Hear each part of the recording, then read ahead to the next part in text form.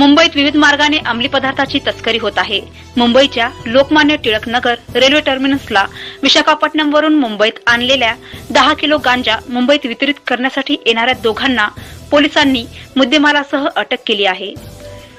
गांजाचा वास बाहेर येऊ नये म्हणून अतिशय व्यवस्थितरित्या हा गांजाला आवरण टाकले होते जेणेकरून त्याचा वास बाहेर येऊ शकणार नाही.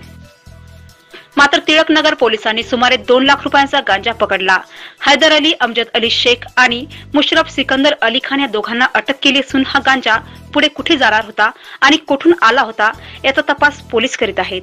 आमचे वरिष्ठ पोलीस निरीक्षक सुशील कांबळे साहेब यांना सांगितले आणि मग साहेबांनी एक टीम तयार केली.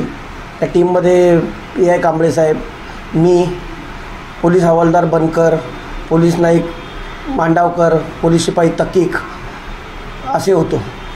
त्यानंतर मग आम्ही तिथे फिल्डिंग लावली. साधारण साडेनऊच्या साडेनऊ वाजताच्या सुमारास दोन इसम एका इसमाच्या पाठीमागे सॅक होती. आणि ते संशयितरित्या फिरताना दिसले. मग आम्ही फिल्डिंग लावून त्यांना पकडलं.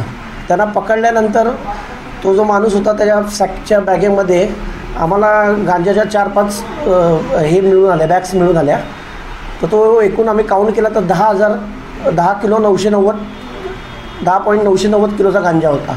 अराऊंड एक लाख चौऱ्याहत्तर हजार चारशे रुपयाचं समथिंग त्या आरोपींची नावं पत्ते विचारले असता त्या आरोपींची नावं एकाचं नाव होतं हैदर अली अजमत अली शेख आणि दुसऱ्याचं मुशरफ सिकंदर खान. आणि हे दोन्ही शिवाजीनगरचे राहणार आहेत.